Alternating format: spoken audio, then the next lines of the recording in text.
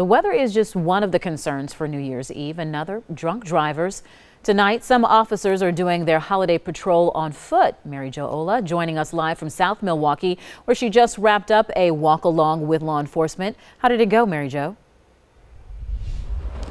Pretty smoothly, Shannon. You know, hours before we ring in 2019 here, the South Milwaukee police officers hit the streets here downtown to check on people, making sure that they're celebrating safely and, like you said, to deter any drunk driving. You guys got your rides home tonight or walking? Oh, yeah. All right. On the last day of 2018, South Milwaukee police officers Rob Wentz and David Hepner are meeting people face to face at local bars. Being that the bars really don't have to close on New Year's Eve, New Year's Day, you kind of don't know what to expect. We actually like it when they do walkthroughs. It just makes everybody feel safe in case there's any. Sometimes you can have trouble on a New Year's Eve because you get people that don't normally go out and aren't used to drinking a lot. Wentz and Hepner walk from bar to bar, chatting, but also keeping a close eye on people celebrating. We're making sure that there aren't any minors in the bar and just we're making sure that people aren't getting overserved.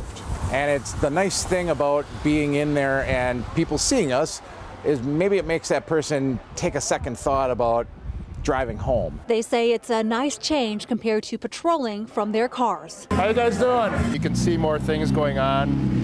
Obviously you're slower. You meet with people more often, seeing if there's any any problems or any problems that somebody might have, they can come up to you as opposed to maybe try to waving you down as you're passing by in the car. The nice part about being out on foot is you actually get to talk to members of the community. Now, over the last two decades, officers Hepner and Wentz say they've noticed more people taking advantage of sober rides home. They say it's a trend they hope continues. Reporting live in South Milwaukee, Mary Jo Ola, today's TMJ4.